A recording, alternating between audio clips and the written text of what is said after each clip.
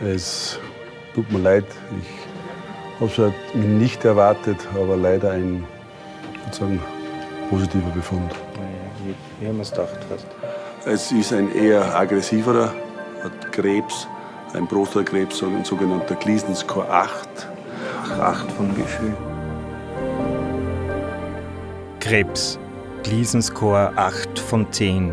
Ich bin plötzlich ein Patient mit beträchtlichem Risiko zu sterben. Warum ich?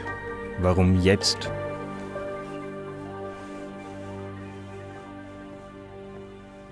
Es ist wie ein Urteil eigentlich.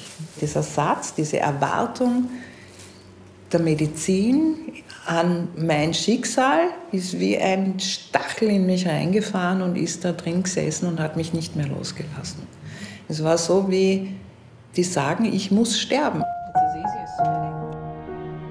Gelegentlich kam es dann dazu, dass ich jemanden auf unserer Treppe traf und den angeschaut habe und gesagt habe, habe ich Sie nicht vor zwei Wochen im Rollstuhl hier runtergetragen?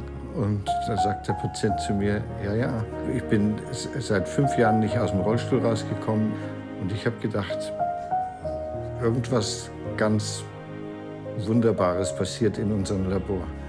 Überzeugung, also Geist, verändert Neuronen, also Materie. Kann das Hirn sich selbst heilen? It is not correct to say that the brain